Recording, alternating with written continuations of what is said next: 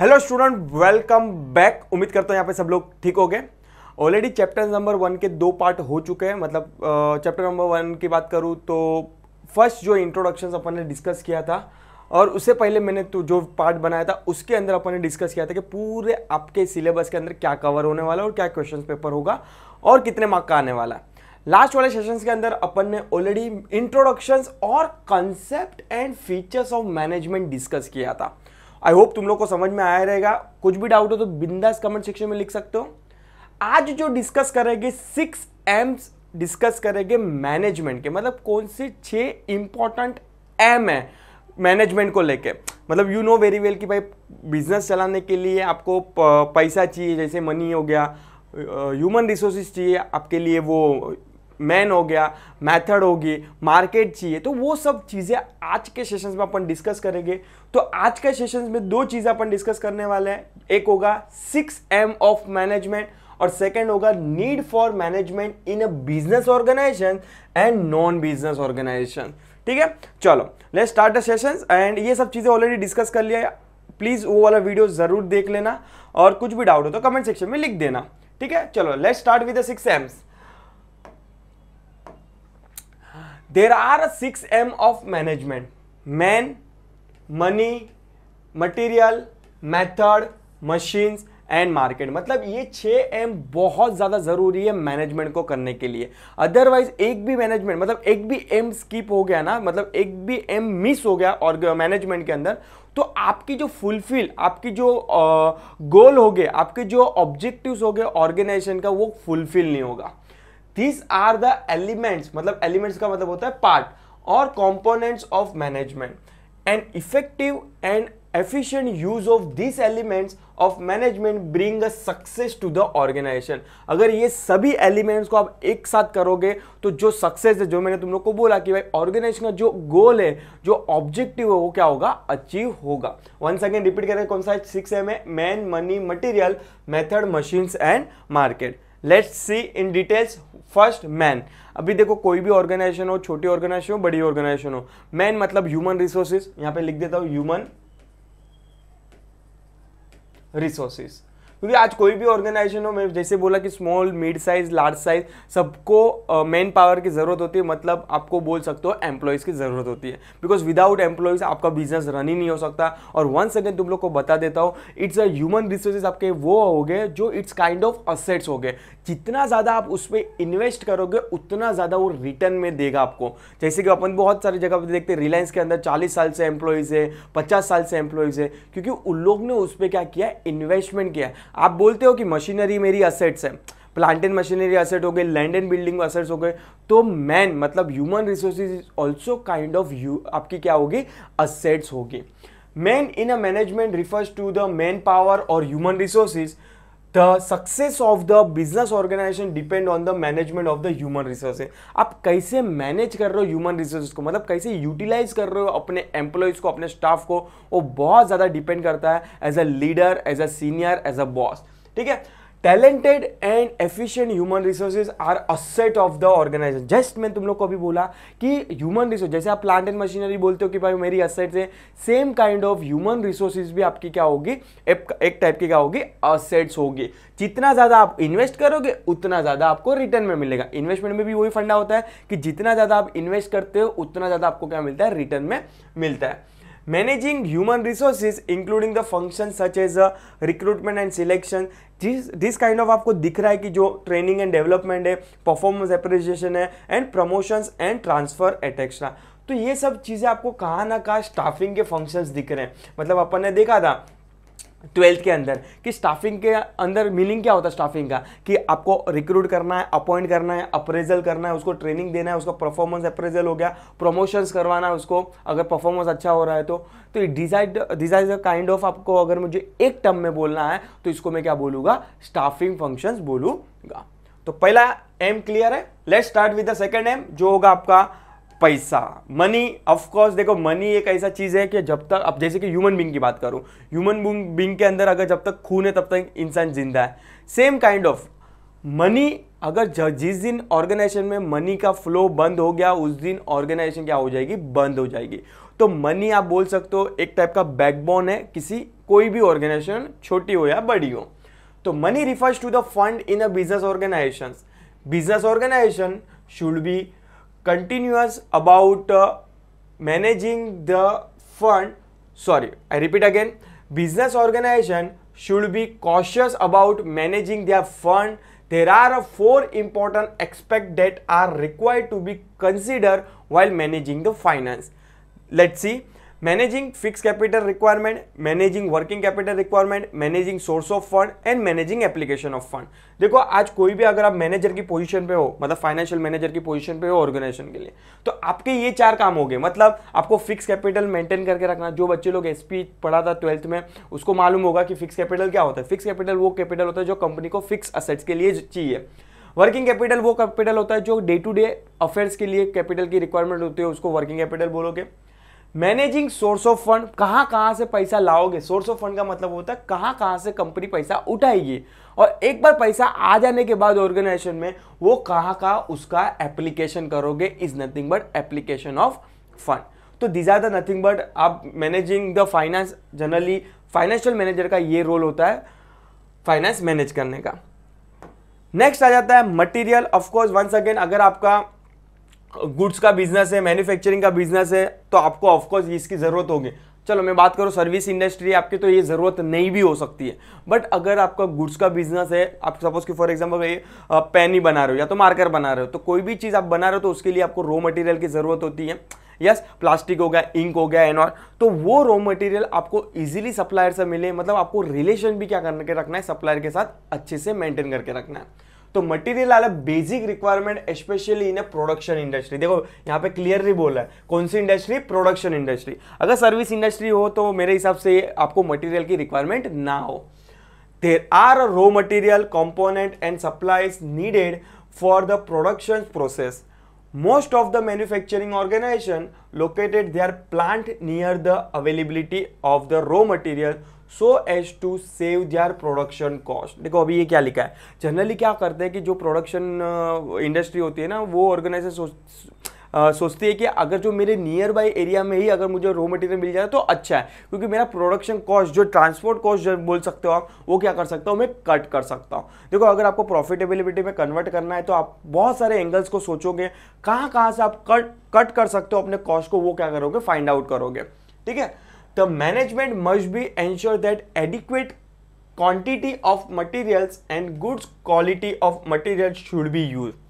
कोई भी ऑर्गेनाइजेशन हो, वो तो यही चाहेगी कि जो मुझे क्वालिटी मिल रही है, वो अच्छी सी हो और जितनी क्वांटिटी मुझे चाहिए, उतनी मुझे अवेलेबल हो। मतलब ना कॉम्प्रोमाइज इन क्वालिटी ना compromise in quantity the material should be supplied at a right time so that the production process does not be interrupted. मतलब क्या बोला है? कि जब भी आपको रॉ मटेरियल की डिमांड है, आपने सप्लायर को कॉल किया कि भाई मुझे मेरे मुझे मेरे गोडाउन में या तो फैक्ट्री में क्या पहुँचा दे मटेरियल पहुँचा दे। मतलब राइट टाइम पे मटेरियल होना ज़रूरी है। देखो, अगर आप एक सर्टन टाइम तक क्वांटिटी स्टॉक में रख सकते हो इन्वेंट्री में रख सकते हो बट आफ्टर सर्टन टाइम क्या होता है कि जैसे जैसे डिमांड आएगी वैसे ही आपको क्या करना पड़ेगा? प्रोडक्शन बनाना पड़ेगा।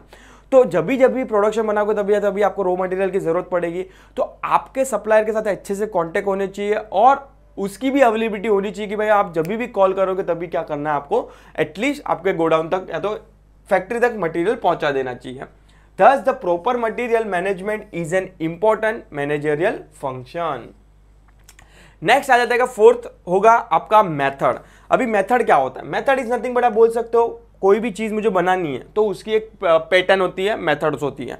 तो ऑर्गेनाइजेशन में ज़रूरी नहीं कि आप पहले 10 साल पहले जो मेथड फॉलो कर रहे थे वो सेम मेथड आज भी फॉलो करें there are lots of changes in technologies as well and human being के स्किल के अंदर भी। जितना ज़्यादा आप टेक्निक ईजी रखोगे जितना ज़्यादा आप टेक्निक को इजीली uh, चेंज uh, कर सकते हो इतना ज़्यादा अच्छा है ऑर्गेनाइजेशन के लिए। और सेकेंड चीज़ जब भी आप मेथड यूज़ कर रहे हो टेक्निक यूज़ करो ट्राई करो कि आप वैसी टेक्निक यूज़ करो जहाँ पे आपका कॉस्ट क्या हो कम हो।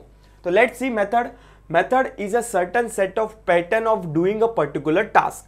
It is an art of doing right thing in a right way.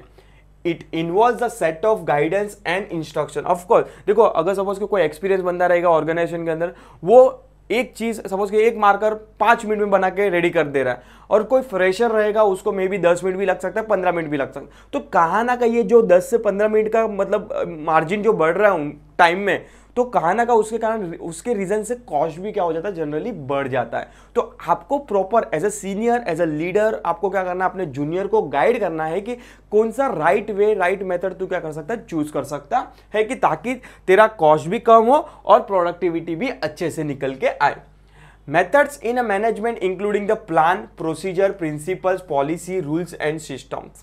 It helps the business organization to carry out its managerial operation effectively and efficiently effectively and efficiently अगर आपको प्रॉपर गाइडेंस मिलता है अपने senior से तो आप वो production effectively भी निकालोगे प्लस एफिशिएंटली मतलब there is no compromise in quality next है मशीन अभी of course machine is nothing but equipment tools जिसको प्रोडक्शन बनाने के लिए क्या होता है हेल्प्स होता है. तो let's see machine machine are the tools equipments and technology required to produce goods and services investment in a machine is an capital expenditure of course आज मशीनरी में आप इन्वेस्ट करते हो तो वो आपके लिए कौन सा असेट होगा कैपिटल असेट होगा आई होप इतना तो मालूम है।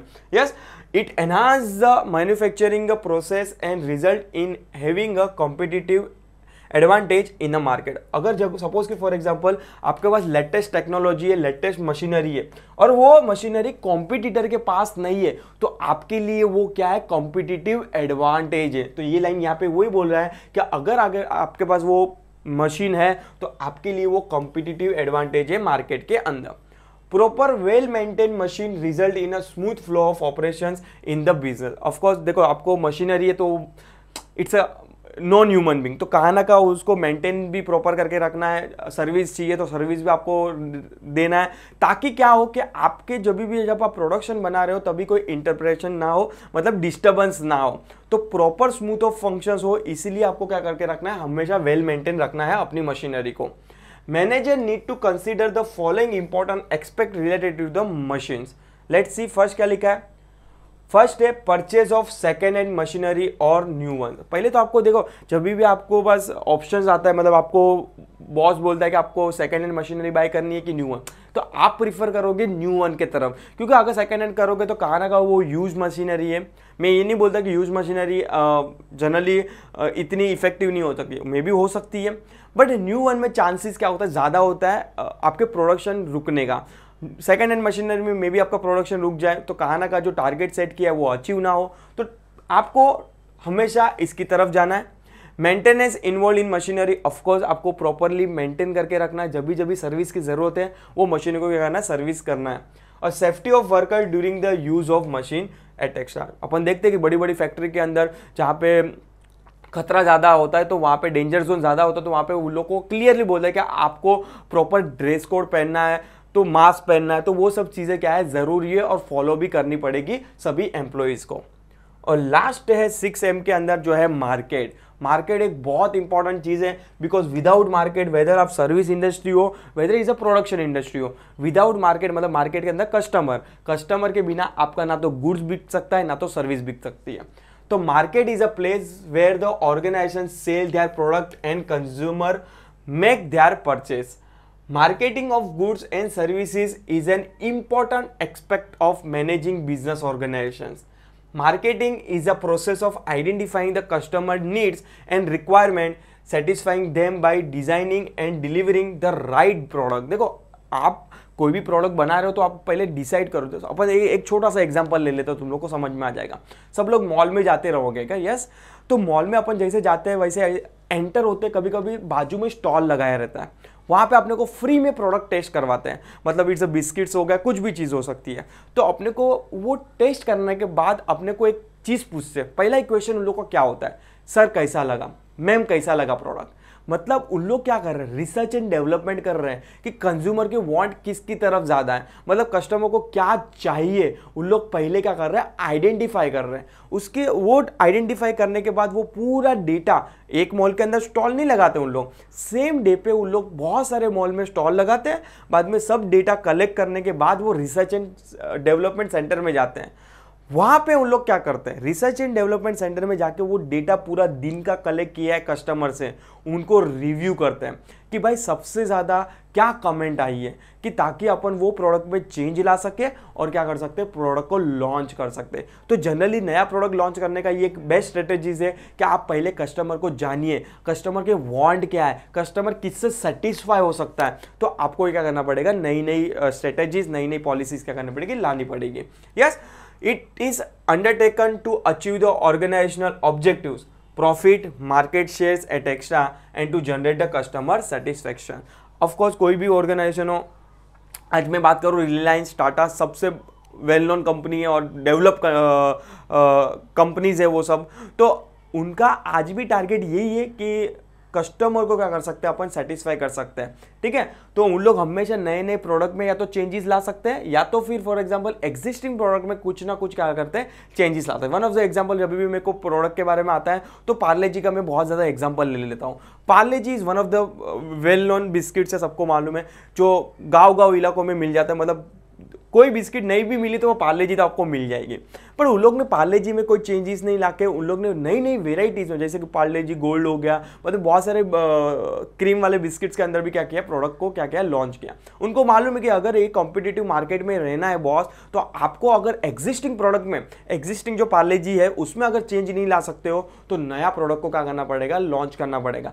अगर पार्ले जी आपको कितना भी अच्छा क्यों ना लग रहा हो तो एक टाइम के बाद कस्टमर क्या हो जाता है सेटिस्फाई हो जाता है। अगर कस्टमर को बाँध के रखना है मतलब अपने कंट्रोल में रखना है कस्टमर वापस आए अपना प्रोडक्ट लेने के लिए तो आपको नए नए प्रोडक्ट को क्या करना पड़ेगा? लॉन्चेस करना पड़ेगा। तो these are the total six Ms I hope तुम लोग को क्लियर है। कुछ भी डाउट हो तो बिंदास कमेंट सेक्शन में लिख देना। आज का लास्ट क्वेश्चन होगा ये लेक्चर्स का जो होगा need for management in business organisation and non business organisation क्या ज़रूरत है? नीड का मतलब क्या ज़रूरत है मैनेजमेंट का? वेदर बिज़नेस के अंदर ऐसा नहीं कि मैनेजमेंट वर्ड पहले ही मैंने तुम लोग को बोला कि मैनेजमेंट एक ऐसा वर्ड है कि नॉट ओनली इन बिज़नेस में यूज़ होता है, वो नॉन बिज़नेस मतलब सोशल लाइफ में भी क्या हुआ है टच मतलब एक टाइप का यूज़ टू वर्ड है कि सपोज़ सपोज़ कि फॉर एग्ज़ाम्पल आपको किधर पिकनिक पे भी जाना स्मॉल एग्ज़ाम्पल ले रहा हूँ। आपको अगर पिकनिक पे भी जाना तो आप पहले क्या करते हो? प्लानिंग करते हो। प्लानिंग का मतलब ही क्या होता है? इट्स काइंड ऑफ़ आप मैनेजमेंट करते हो कि भाई by way way of rail जाएँगे, कि बाई वे ऑफ़ एयर जाएँगे मतलब एरोप्लेन जाएँगे प्लेन जाएँगे, या तो फिर बाई वे ऑफ़ ट्रेन जाएँगे। तो बहुत सारे, या तो प्राइवेट व्हीकल करेंगे। मतलब बहुत सारे एंगल्स को आप सोचते हो मतलब होटल्स फाइंड आउट करते हो, उसके बाद अपन क्या करते हैं, सभी बुकिंग करने के बाद अपन क्या करते हैं पिकनिक को स्टार्ट करते हैं। तो ये एक छोटा सा वर्ड है, छोटा सा एग्ज़ाम्पल लिया जैसे ये पिकनिक उसमें भी अपन क्या करते हैं मैनेजमेंट करते हैं। तो वो बिज़नेस से रिलेटेड है? नहीं, वो नॉन बिज़नेस से रिलेटेड है मतलब आपके और मेरे पर्सनल लाइफ के साथ। तो मैनेजमेंट एक ऐसा वर्ड है कि जो मैनेजमेंट पर्सनल लाइफ से भी जुड़ा हुआ वर्ड है और नॉन पर्सनल लाइफ से भी जुड़ा हुआ वर्ड है। let start with the Peter Drucker की डेफिनेशन से let see according to the Peter Drucker once remarked management is what the modern world is all about this means that the various development that have taken place in the world is due to the effective management आज अपन देखते हैं कि बहुत सारी country under develop है certain country developing की तरफ़ है और सर्टन ऑलरेडी डेवलप हो चुके हैं। जो डेवलप भी हो चुके हैं, वो भी आज के दिन पे क्या कर रहे हैं? मैनेजमेंट कर रहे हैं। जो डेवलपिंग है, वो ज़्यादा मैनेजमेंट कर रहे हैं। जो अंडर डेवलपमेंट है, वो ज़्यादा कोशिश कर रहे हैं कि सभी का टारगेट होता है कि अपने कंट्री के आगे जो डेवलपिंग अंडर डेवलप टैग लगा है, उसको क्या हो जाए? कन्वर्ट होकर डेवलप की तरफ़ आ जाए। चलो, वो कंट्री की बात कर रहा हूँ, उसको छोड़ो। मैनेजमेंट की लेके बात करूँ ऑर्गेनाइजेशन को लेके बात करूँ। उनका भी ये टारगेट होता है कि अपना जितना ज़्यादा इफ़ेक्टिव मैनेजमेंट होगा, उतना ज़्यादा बेनिफिट है कंपनी के लिए। ताकि कंपनी का जो गोल है, कंपनी का जो टारगेट है, वो टारगेट और गोल क्या हो सकता है? अचीव हो सकता है। जितना ज़्यादा इफ़ेक्टिव मैनेजमेंट उतना ज़्यादा effective result bottom of the line बोलने जाओ तो ये होता है। Management is needed in a business organisation as well as a non business organisation the main aim of business organisation is to earn profit सबसे business सभी छोटे business की बात करो, बड़े बिज़नेस की बात करो, सभी का एक ही टारगेट होता है to earn profit On the other hand, there are a non-business organization who main aim to serve the society. For example, charitable trust, social club, consumer association, etc. बहुत सारे ऑर्गेनाइजेशन होता है जिसका मेन मोटो प्रॉफिट का नहीं होता to serve the people मतलब उनको सर्विस देना. जैसे कि अपन बोलते हैं ना बहुत सारे चैरिटेबल ट्रस्ट है उनका मोटो प्रॉफिट का नहीं होता है. उनका मोटो सिंपल होता है टू सर्व द पीपल मतलब उनको क्या करना सर्विस देना. Whether the business organization or non-business organization, there is a need for management. The need for and importance of management can be stated as follow. पहला ये innovations आपको organisation के अंदर क्या करना है? इनोवेशन लाना है मतलब मैनेजमेंट के अंदर एज अ मैनेजर की रिस्पॉन्सिबिलिटी होगी कि भाई आपको नए नए चेंजेस लाने पड़ेगा। अदरवाइज़ एम्प्लॉय क्या हो जाएगा? बोर हो जाएगा। Management facilitated innovation in the organisation Nowadays, it is an essentially to generate new ideas, new product, new technology, etc. Innovations helps to gain competitive advantage in today's competitive business world अगर market में competition आपको करना है मतलब competition में टिका रहना है तो आपके स्ट्रेटेजीज आपकी पॉलिसीज़ आपकी टेक्निक्स के अंदर क्या होना चाहिए? चेंजेस लाना पड़ेगा। मतलब अकॉर्डिंग टू मार्केट एनवायरमेंट आपको क्या करना पड़ेगा? अपने आप को चेंज करना पड़ेगा। One of the example one second मेरे माइंड में आ जाता है जब भी इनोवेशन का आता था नोकिया सबने सुना रहेगा? Nokia is one of the example जहाँ पे कस्टमर को मार्केट को चाहिए था एंड्रॉयड में वो टाइम की बात कर रहा हूँ, जिस टाइम पे नोकिया आउट ऑफ़ मार्केट चला गया because of the one reason customer को चाहिए था एंड्रॉयड वो भाई ने बना दिया विंडोज़ कस्टमर ने रातों रात उसको क्या कर दिया, टाटा बाई बाई कर दिया। मतलब आज के दिन पे अपन नोकिया का वो नाम नहीं सुना। मतलब एक टाइम पे टेली कम्युनिकेशन सेक्टर की अगर मैं बात करूँ, जहाँ पे नोकिया सबसे टॉप ब्रांड थी, आज देख रहा हूँ नोकिया दूर दूर तो कहाँ पे भी कंपटीशन में नहीं देख रहा है। बिकॉज़ ऑफ़ द उसने मार्केट की चेंज को एक्सेप्ट नहीं किया। आज उसके सीईओ जब भी इंटरव्यू देता है, वो एक ही चीज़ बोलता है कि भाई हम लोग फेल हुए बिकॉज़ ऑफ़ द हम लोग नोकिया में कुछ खराबी नहीं थी बिकॉज़ उसकी टेक्निक में खराबी थी, जो कस्टमर के जो वांट थे, हम लोग वो वांट को सेटिस्फाई नहीं कर पाए। नेक्स्ट है corporate image nothing but corporate image का मतलब ही क्या होता है? गुडविल आज कोई भी कंपनी ये चाहेगी कि भाई, हम लोग का ओवर पीरियड ऑफ़ टाइम क्या हो? गुडविल हो मार्केट में नाम हो। ठीक है?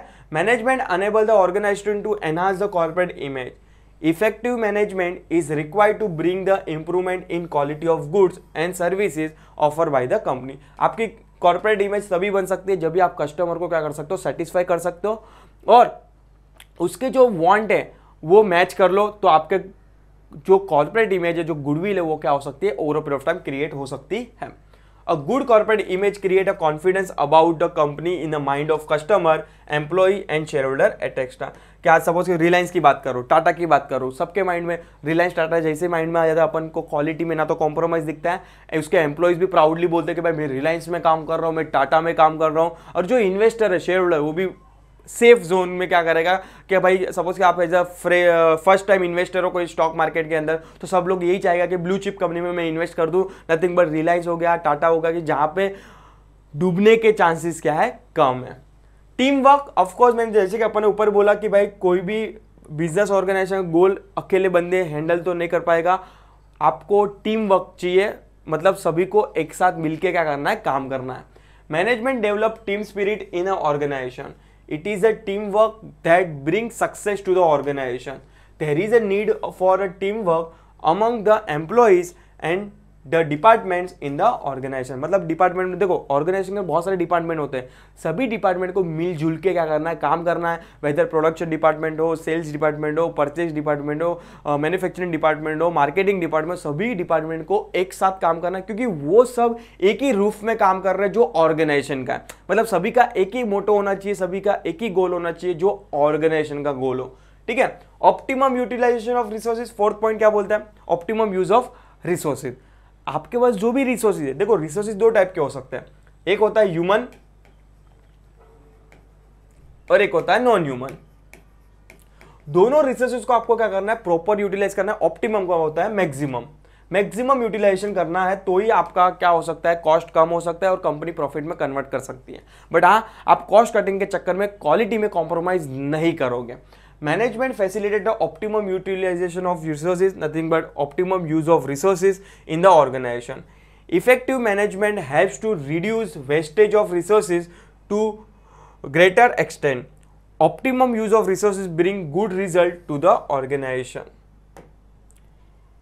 fifth point motivation of course अगर आपको अपने एम्प्लॉयज़ को मोटिवेट रखना है तो दो ही वे है फाइनेंशियली या तो नॉन फाइनेंशियली फाइनेंशियली मतलब ज़्यादा बोनस दे दो और नॉन फाइनेंशियल मतलब फॉरन पिकनिक दे दो खुश हो जाएगा। Yes yes? तो management facilitate motivate of the employees in organization by providing incentive incentive मतलब bonus additional salaries and all motivated employee work with the application and dedication the dedication on the part of motivated work force bring the higher efficiency in a organization अगर आपका employ जितना ज़्यादा motivated होगा, उतना ज़्यादा काम निकाल के देगा, जितना मैं जैसे तुम लोग को यही बोला कि employee human resources kind of आपकी असेट है। जितना ज़्यादा उस पर खर्चा करोगे, जितना ज़्यादा आप इन्वेस्ट करोगे, वो उतना ही ज़्यादा आपको रिटर्न में ला के देगा।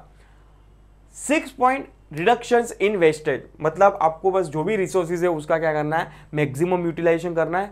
वेस्टेज क्या करना है? कम करना है। Management ensure reduction of wastage in organizations. Nowadays, reduction in wastage is a vital to any organization.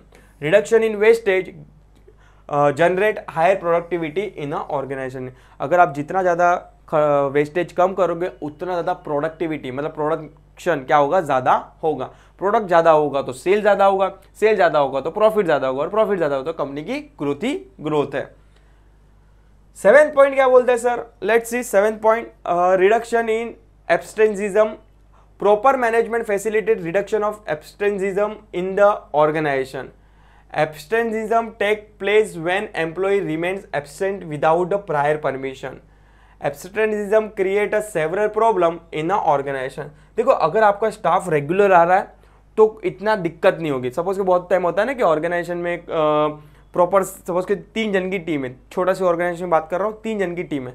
तीन जन में अगर जिस दिन दो एम्प्लॉयज़ एबसेंट हो गए ना तो वो एक एम्प्लॉयज़ पर बहुत ज़्यादा बर्डन आ जाता है। उसके साथ साथ बॉस पे भी बर्डन आ जाता है। तो आप पहले ही क्या कर दो एज ए एम्प्लॉय आप अपने बॉस को बता दो कि भाई, ये दिन से ये दिन में छुट्टी हो तो बॉस सीनियर क्या हो, वो चीज़ के लिए प्लान हो वेल इन प्लान हो, कि भाई, उस दिन वो बंदा नहीं आने वाला मेरा एम्प्लॉय तो मैं उसके अकॉर्डिंगली क्या करूँ काम को क्या करूँ मैनेज कर लेता हूँ। यस yes, और अपने क्लाइंट से भी क्या कर सकते हैं? टाइम मांग सकते हैं। अगर सडनली आपने एबसेंट डाल दिया सुबह तो वो पूरे दिन का जो रूटीन होता है वो क्या होता है? कहाँ ना कहाँ इफ़ेक्ट हो सकता है।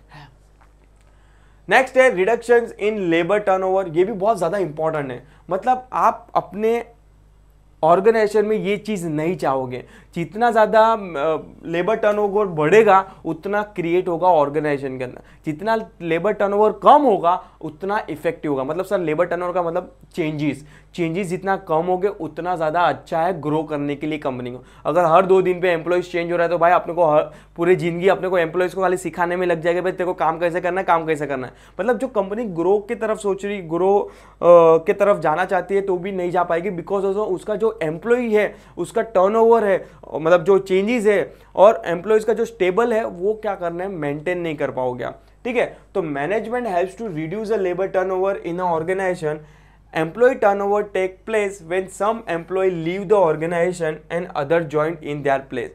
Frequent labour turnover increasing the selection and training cost देखो, यहाँ पे क्लियरली बोला है कि जितना ज़्यादा आप इंटरव्यू लोगे, जितना ज़्यादा आप एम्प्लॉय को चेंज करोगे, कहाँ ना कहाँ आपका सिलेक्शन एंड ट्रेनिंग का कॉस्ट क्या होगा बढ़ेगा और it's a not good sign it's a bad sign for the organization next है नाइन्थ पॉइंट क्या लिखा है? लेट सी हायर एफिशिएंसी मैंने तुम लोग को जैसे बोला कि हायर एफिशिएंसी तभी निकलेंगे जब भी आप क्या कर सकते हो? कॉस्ट को कम करके ऑप्टिमम यूटिलाइजेशन ऑफ़ रिसोर्सेज करोगे तभी.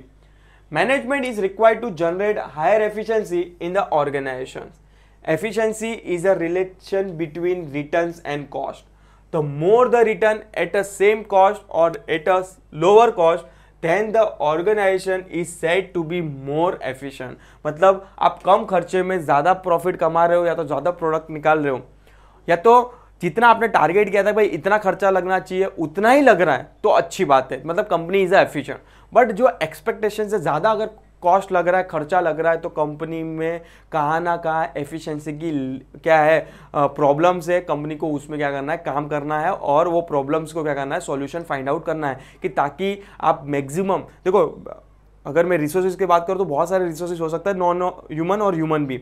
अभी नॉन नॉन ह्यूमन की बात करूँ तो पैसा हो गया कि आपको पैसे को प्रॉपर यूटिलाइजेशन कर, करना है टाइम हो गया टाइम का भी प्रॉपर यूटिलाइजेशन करना है तो ये सब चीज़ें आपको क्या करनी पड़ेगी? ध्यान में रखनी पड़ेगी और कंट्रोल करनी पड़ेगी। Next tenth point better relation of course आपको एज अ बिज़नेस ऑर्गेनाइजर आपको सभी के साथ अच्छे से रिलेशन मेंटेन करके रखना है। वेदर इट्स अ सप्लायर हो वेदर इट्स अ कस्टमर हो वेदर इट्स अ इन्वेस्टर हो वेदर इट्स अ गवर्नमेंट हो आपको, अगर आप मार्केट में उतरे हो बिज़नेस को लेकर तो आपके सभी के साथ रिलेशन क्या होने चाहिए? अच्छे होने ज़रूरी है। और ऑफकोर्स एम्प्लॉयज़ के साथ तो ज़रूरी ही है।